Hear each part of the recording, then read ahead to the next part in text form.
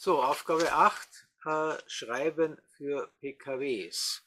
Ein Betrieb stellt Scheiben für PKWs, Frontscheiben und Heckscheiben für PKWs her. Okay. A. In der nachstehenden Abbildung sind der Graph der Kostenfunktion K und der Graph der quadratischen Erlösfunktion E für Frontscheiben eines bestimmten Typs dargestellt. Erstens stellen Sie eine Gleichung der quadratischen Erlösfunktion E auf und stellen Sie zweitens eine Gleichung der zugehörigen Preisfunktion der Nachfrage auf.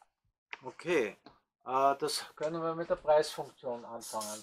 Wenn die äh, Lösfunktion, wie man es hier sieht, äh, eine Parabel ist, wunderschön von 0 bis 180 und bei 90 haben wir den Hochpunkt, dann schreiben wir mal die p von x auf, den Preisfunktion. Das ist einfach eine lineare Funktion. k mal x plus d. Und dann ist die Erlösfunktion gleich die Preisfunktion mal x, also ist das dann ein x immer dazu, k mal x Quadrat plus d mal x. Man kann natürlich das an, äh, mit ax Quadrat plus bx nennen, aber äh, die Buchstaben sind ja immer egal in der Mathematik. Und jetzt braucht man nur noch zwei Gleichungen. Ja, äh, wenn man es also eintippt, kann man also hier wieder Doppelpunkt ist gleich machen bei GeoGebra und dann muss ich noch äh, eintippen e von 0 ist gleich 0 und e von 90, das ist, in der, ist der Hochpunkt, ist gleich 1200. Moment, e von 0 ist 0, das ist logisch. Nein, das bringt uns nichts. e von 180 ist gleich 0. Also nehmen wir statt dem e von 180 ist gleich 0. e von 0 ist 0 ist automatisch, wenn hier keine Konstante mehr da ist. Also das dürfte man nicht nehmen, sonst kommen wir auf keinen grünen Zweig. Also E von 180 ist 0 und E von 90 ist 1200. Wenn wir das entsprechend eintippen in GeoGebra, was passiert dann?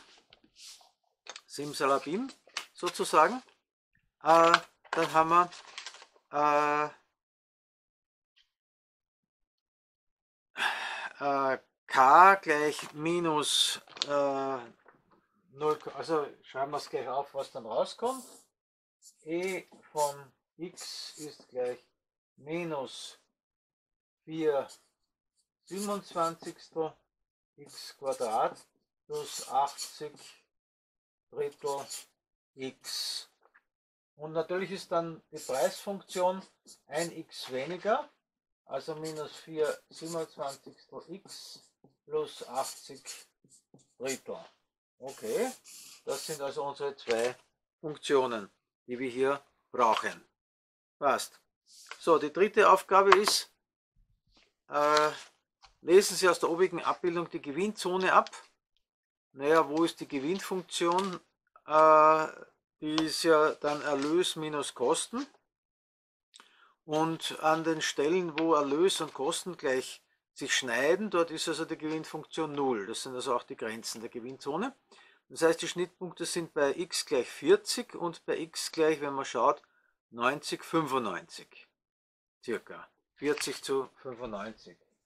Also drittens, das Intervall ist 40, Strichpunkt 95, was hier gesucht ist.